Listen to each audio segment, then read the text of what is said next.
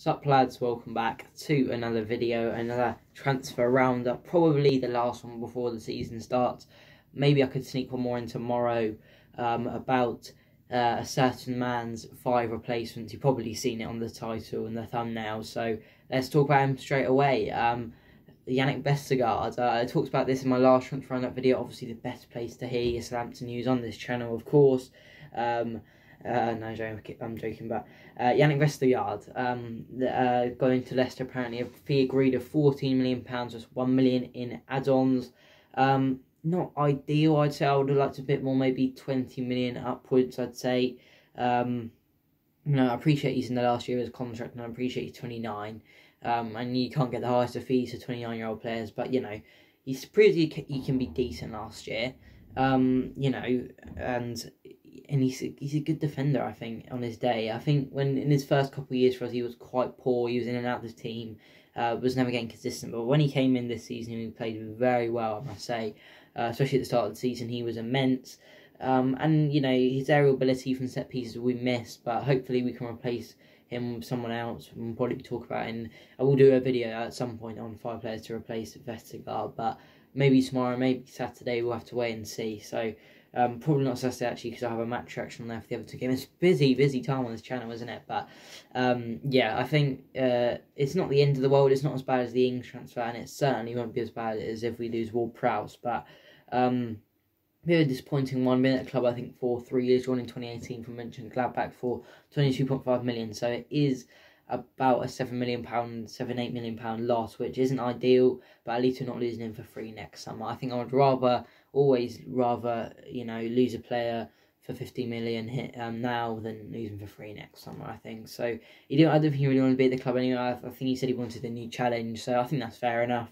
Um, and you know, he didn't prove that he was an immense, and I don't think he, he proved that he was too good for us. I, um, but again, when Fofana comes back, he, it depends how he plays at Leicester. You know, he could be become the best centre back in the league and he could, well, he could kind of flop, which probably he won't because it is Leicester. They hardly have any flops, but um, yeah, I think he'll be good because obviously Fofana sadly uh, broke his leg uh, against Villarreal in that friendly, so they're obviously looking for a replacement there. And I think Yannick will be a de- decent replacement for them, and he'll have good competition. Obviously, like so Soyuncu, uh, Evans are there as well. Bertrand, I think, can even play in the back. Amartey is playing then the Community Shield, obviously linking back up with Bertrand because uh, he went to he left us this summer to go to Leicester as well. Popular uh, destination, isn't Leicester? But yeah, best luck to Yannick.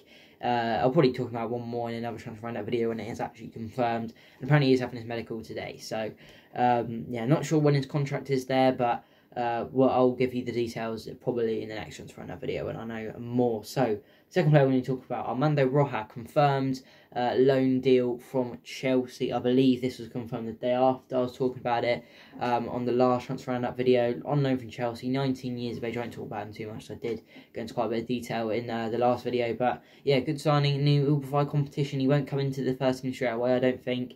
Um, but yeah, in case we have injuries, it's highly possible, you know.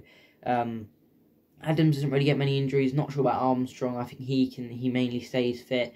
Uh, Long and Obafemi are quite injury prone though, so especially Obafemi, I think he got quite a big injury last year, and Obafemi is a player we'll talk about later actually. But um, yeah, I think he'll be good, and you know, hopefully he's good. You know, he I think he can be a good presence coming off the bench sometimes when we're chasing a game because he's tall, he's quick apparently as well. So you know that'll be decent for a substitute player, and obviously we want to break into the first team. Chelsea want him to play first team football, so hopefully he can get that with us. Uh, second, third player, sorry, we talk about is Adam Armstrong again confirmed uh, same day as uh, Armando actually to uh, just a few hours later.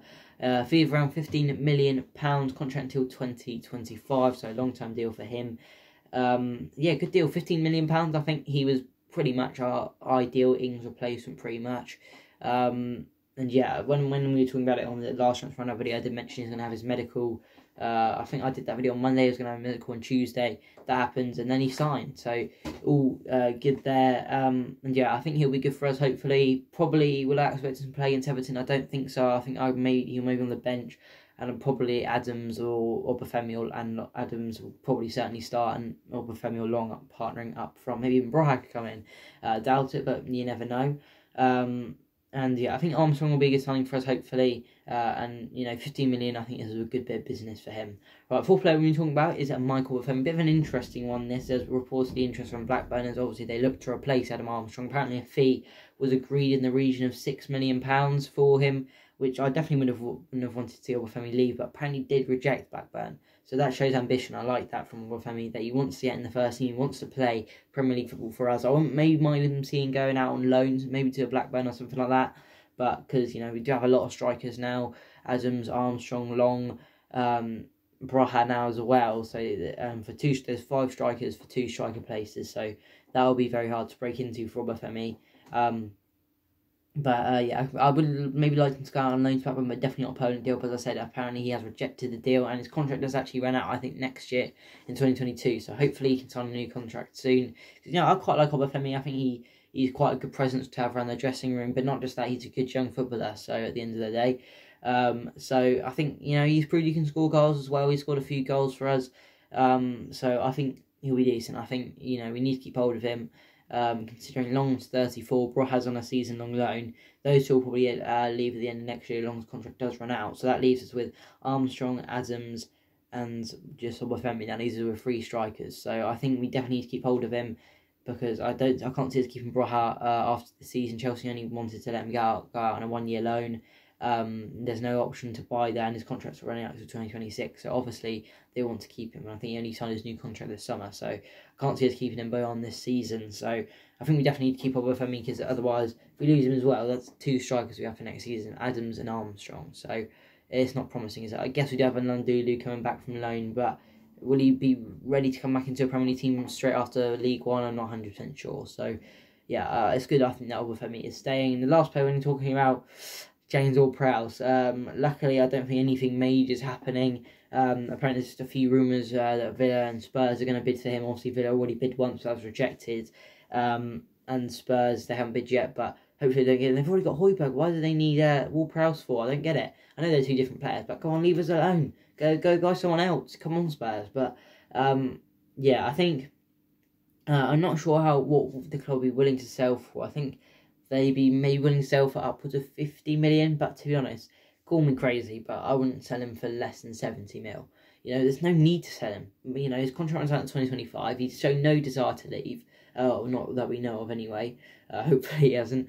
Um, but again, so there's no need to sell him. So 70 mil upwards I'd take. You know, he's not he's not 70 million. I'm not saying he's worth 70 million. I wouldn't pay 70 million for him. But I'm saying that's what he's worth to the club. It's like really, he's not worth 100 million, but he's worth 100 million to Villa. Ward-Prowse is worth 70 million to us, I think. So, you know, and if we can get 75 mil for Van Dijk, why, why can't we get that for Ward-Prowse? You know, they're arguably, as in, I think Ward-Prowse is more important to the team than Van Dijk was, to be honest. So, um, why not 70 mil? So, uh, yeah, it's going to have to do it for today's video, guys. Thank you for watching. Hopefully, uh, none of the other players leave, uh, Ward-Prowse Obafemi. Um, and I'll try and get some more players. Rumours were coming in uh, in the next video. So, um, yeah, hopefully that'll happen uh, more players coming in. And again, I think the next transfer out video will probably be um, the replacements for Scott whether tomorrow, Saturday, Sunday. I don't know. And match reaction against Everton should be up. And also, guys, I have got tickets for the Saints Man United game, so I won't do any any like a match log or anything. But I'll try and get a few clips from the game and I'll put them on here for you guys. So. Uh, yeah, hopefully that'll be good. Hopefully we can win that one. Hopefully we win every game this season. Uh, it's not uh we're not but you know we, we can always dream we can always dream so yeah, thank you much today guys um, if you like if you enjoy and subscribe if you are new around here as I said season starts in just a couple days for Saints so uh yeah match are going to be coming back on the channel uh and yeah thank you much guys and I will see you soon